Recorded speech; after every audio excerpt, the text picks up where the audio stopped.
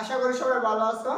আজকে আমি তোমাদের সামনে বৃত্ত চ্যাপ্টারের কিছু গাণিতিক সমস্যা নিয়ে চলে আসছি। সেখানে আমরা দুইটা প্রশ্ন দেখতে পাইতেছি এবং প্রশ্নের মাঝখানে বলা হয়েছে, কেন্দ্র এবং কি? ব্যাসার্ধ নির্ণয় করো। তাই আমরা এই দুইটা সূত্র থেকে দুইটা অঙ্কটা আমরা কীভাবে সহজে করতে পারি সেটা দেখব। তার আগে আমরা বৃত্তের একটা সাধারণ সমীকরণ এক নম্বরটা সমাধান করি। ধরো আমরা এরকম মাইনাস, মাইনাসের জি মাইনাস এফ কেন্দ্র বিশিষ্ট বিশিষ্ট বৃত্তের সমীকরণ হলো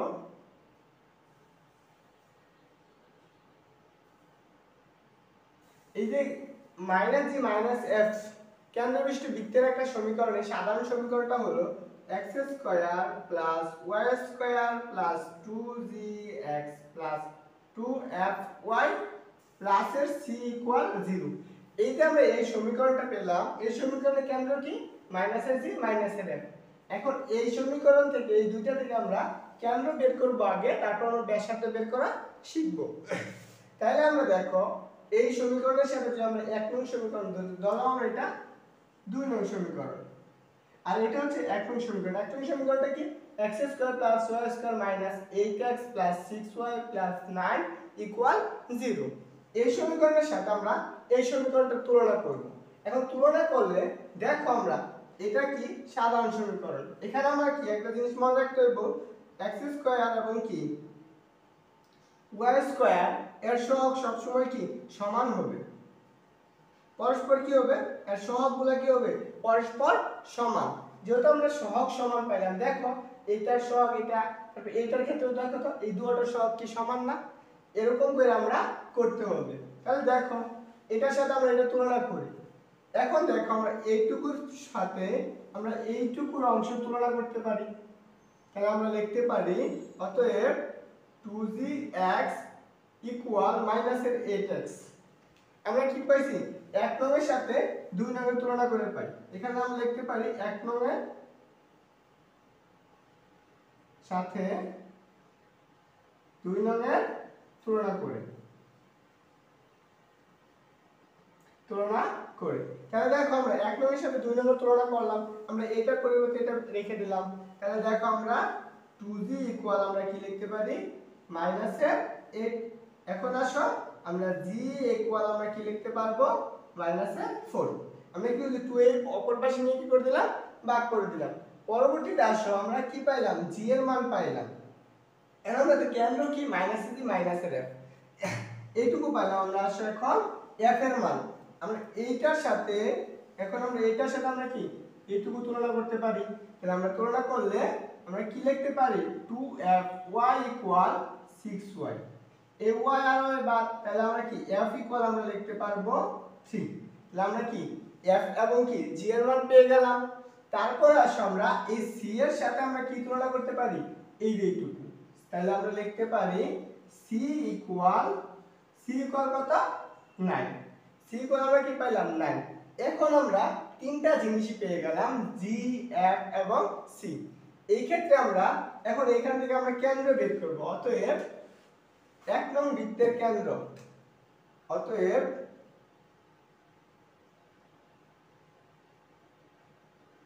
বৃত্তের কেন্দ্র হচ্ছে কি? মাইনাসের জি কমা মাইনাসের এফ ইকুয়াল আমরা লিখতে পারি অর্থাৎ মাইনাসের জি জি এর সাথে মাইনাস মাইনাসের কি মাইনাস প্লাস হয়ে যেত না ফোর কমা এফ এফ এর মান কি? মাইনাসের এফ তাহলে এফ এর জায়গায় মাইনাস বসাই লিখে দেবো থ্রি এখন আসো আমরা বৃত্ত। ওই সাধারণ সমীকরণটা পড়লাম, ওই সাধারণ সমীকরণে বৃত্তের ব্যাসার্ধ সূত্র হলো যে আর ব্যাসার্ধ সূত্র, ব্যাসার্ধ হলো অর্থাৎ আর equal root of R g square plus f square মাইনাসের c g square plus f square মাইনাসের সি এখন এখানে আমরা তিনোটার মান পাইছি জি এফ সি সবগুলোর মান পেয়েছি। এখন আমরা এই মানগুলো এখানে বসাই দিয়ে ক্যালকুলেশন করলে আমরা কি পাবো? জি এবং এফ এর মান পাবো। দেখো জি এর মান কত? মাইনাসের ফোর না? তাহলে আমরা লিখতে পারি মাইনাসের ফোর রুট একটা স্কোয়ার প্লাস এফ এর মান কত? থ্রি স্কোয়ার মাইনাসের সি এর মান কত? নাইন তাহলে এখন এখানে আমরা কি করতে পারি? ষোলো প্লাসের নাইন মাইনাসের নাইন রুট ওভার তাহলে এই নাইন আর নাইন বাদ তাহলে হলো কত? ফোর আশা করি বৃত্তের কেন্দ্র, অর্থাৎ এক নং বৃত্তের কেন্দ্র কত পাইলাম আমরা? কেন্দ্র পাইলাম ফোর কমা থ্রি আর ব্যাসার্ধ কত? ফোর এখন এটা যদি আমরা এই অঙ্কটাকে আমরা আরেকটা জিনিস কি আছে ফোর তাহলে এই সমীকরণটা আমরা আরেকটু বাড়িয়ে লিখতে পারি। যেমন x square plus y square এই ফোরটা ভাগ করলে কত হয়? সিক্স এক্স মাইনাসের ওয়াই আর এটা আসে কত? সাতাশ বাই ফোর ইকুয়াল জিরো এখান থেকে দেখো আমরা সি এবং কি এফ এর মান কত পাই? এই টু জি এর মধ্যে আমরা টি জি সমান লিখতে পারব সিক্স তাহলে আমরা জি সমান আমরা লিখতে পারব জি সমান লিখতে পারব থ্রি তারপর আমরা টু এফ সমান লিখতে পারব কত? মাইনাসের ওয়ান এফ সমান আমরা লিখতে পারব হাফ মাইনাসের হাফ এবং সি সমান আমরা কি লিখতে পারব? মাইনাসের টোয়েন্টি সেভেন বাই ফোর আমরা এইটুকু পাইলাম। এখন বৃত্তের ব্যাসার্ধ এবং কি কেন্দ্র? আমরা বৃত্তের কেন্দ্রটা কীভাবে পারব দুই নম্বরটা? কেন্দ্রটা আমরা জানি মাইনাসের জি মাইনাসের এফ অর্থাৎ বৃত্তের কেন্দ্র বৃত্তের কেন্দ্র এই যে বৃত্তের কেন্দ্রটা হচ্ছে মাইনাসের টু মাইনাসের এফ অর্থাৎ কি? জি এর মান কত হবে? মাইনাসের থ্রি এফ এর মান কত? মাইনাসের হাফ তাহলে কি হব?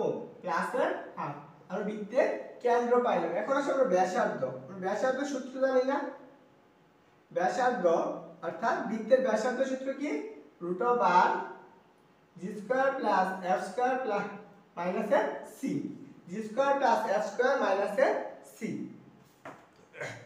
সেই ক্ষেত্রে আমরা কি করতে পারি এখন?